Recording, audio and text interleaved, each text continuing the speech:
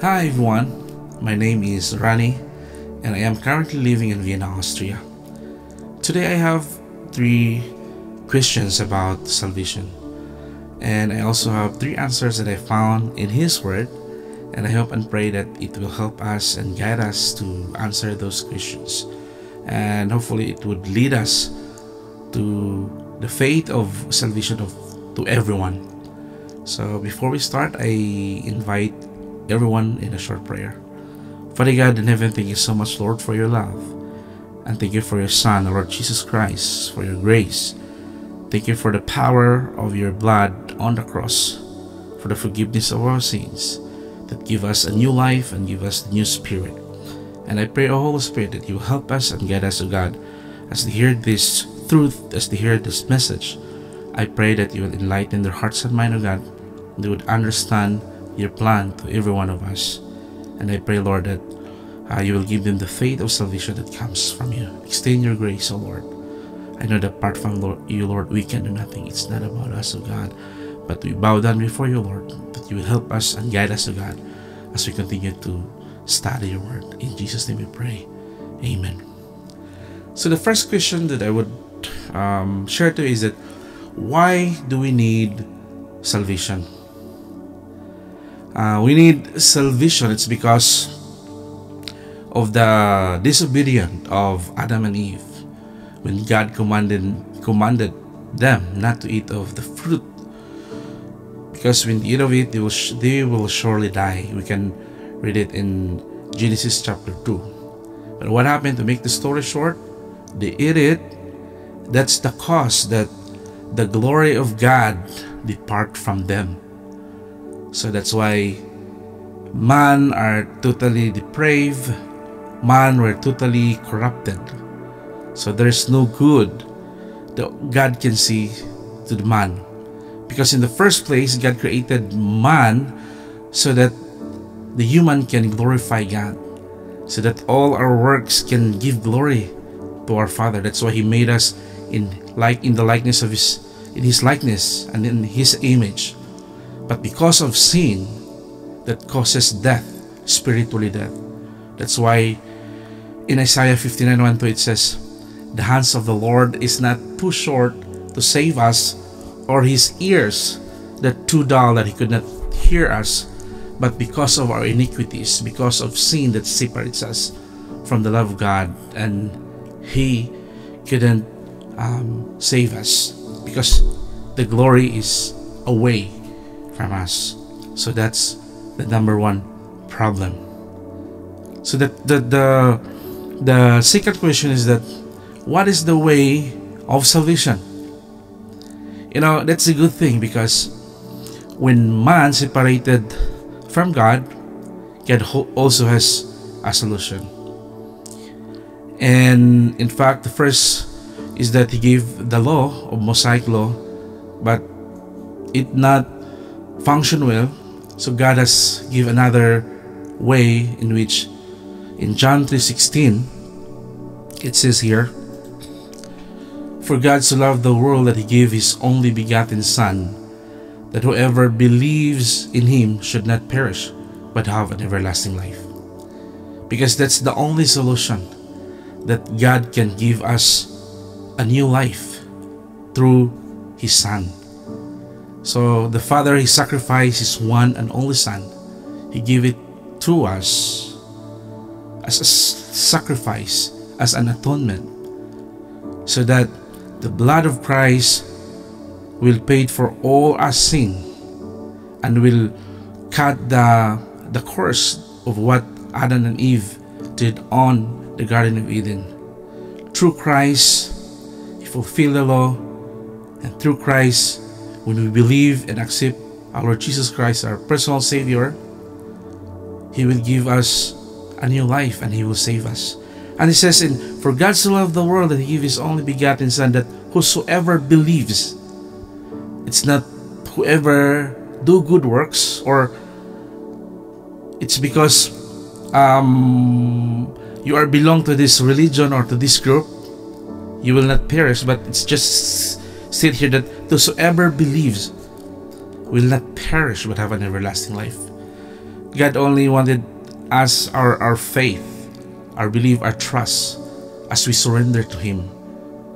Because man separated from God because of the pride of life, the pride of man. So God wanted us to surrender ourselves, to bow down, and to give back all to our Lord Jesus Christ as we accept Him as our personal Savior, as we accept the offer of our Father for the for the forgiveness of our sin, for our Jesus Christ as our Lord and Savior, and He will forgive us, and He will give us a new life, and that is only the way that we can be part to His kingdom, and that we can uh, connect again to the Father, and He will give us a glory that comes from Him. And in John 14 6 says, I, uh, Jesus Christ said, I am the way, the truth, and the life, and no one can come to the Father except by through me. There's no other way that we can go back, we can reconnected to our Father, or we can uh, ask for His glory, but only our Lord Jesus Christ when we believe in Him. It's not because we have a lot of money, it's not because uh, we have everything, but it's because we have nothing and we are all sinners. And God wanted us to surrender our life, to, to, to entrust to Him because there's nothing that we can do because we are spiritually dead.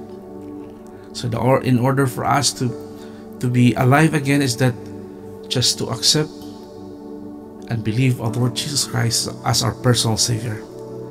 And I assure you, He will give us a new life because there is power in the blood of Lord Jesus Christ who shed on the cross. And if you want to accept our Lord Jesus Christ, I have a short prayer here. I would like to uh, invite you to pray this prayer and make it uh, uh, as your personal prayer to God. So I will lead you. So wherever you are right now, I just want you to encourage to to pray this prayer. You can follow me and make it as your personal prayer to the Lord. I know that our God is listening and wherever you are because our God is powerful, our God is everywhere, and He can forgive all our sin. And this is the only solution. So you can follow me in this short prayer. Dear Lord Jesus Christ, I know that I am a sinner and I ask for your forgiveness. I believe you died for my sins and rose from the dead. Thank you for your blood on the cross. I turn from my sins and I invite you to come into my heart and life. I want to surrender, trust, and follow you as my Lord and Savior. You may glorify to my life through the work of the Holy Spirit. Amen. If you answer, if you pray those prayer heartily, I do believe that God will forgive all our sins, your sins, and He will give us a new life. Now, let us go to the third question. What is the benefit of of of salvation of the uh, the death of Lord Jesus Christ. So first is that um, there we are already forgiven for all our sin, and even the course, the death of from Adam, and now we have new life, and then we have now the Holy Spirit who is living in us, and we can now worship our God. We can now con- we can now pray to our God we can now worship Him. We can now glorify Him because God already, our Lord Jesus Christ, already paid for all our sin. And remember, the Holy Spirit also is now in us. And in John, in John chapter um, 1, verse uh, 12 says, it's also uh, one of the benefit also. But to all who did receive him, who believe in his name, he gave the right to become children of God, who are born not of blood, nor the will of the flesh, nor of the will of man, but of God. So when Nicodemus asked Lord Jesus Christ, how can a man can see the kingdom of God? And Jesus Christ answered, unless you will be born again, unless you will be born in uh, uh, uh, water and spirit. So when you receive our Lord Jesus Christ, our personal Savior, there is a regeneration happen to you. There is a new life that God has given to you.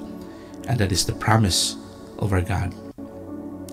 So, I, hope and I pray that um, this short message will, will help you, will help us to, to understand and the starting point that we can walk and in in the will of the Lord. Because that's the that's the the, the first plan of God is that uh, we can glorify Him in every work that we do. So that's why in Ephesians chapter 2 verse 10 we are now the masterpiece of our Jesus Christ. We are the workmanship of our Jesus Christ. And He paid, He, he sacrificed for us. He offered His life to sacrifice so that we for for good works so that we can glorify the Father, we can glorify the God. And the good thing also is that our Lord Jesus Christ give us the helper and the Holy Spirit who is in us where we can abide in him and he will help us to glorify our Lord Jesus Christ so that we will walk according to the will of the Lord and we can share the gospel. The time will come you will also do what I am doing, that you will share and you will proclaim the good news of Lord Jesus Christ.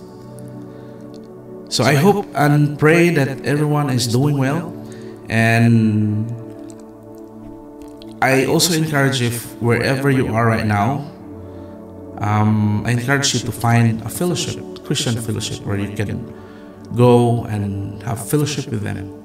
If you are in Austria, in Vienna, we have some um, a lot, uh, not many, but we have some few Christian fellowship here in Austria. And you can also search in, in Google.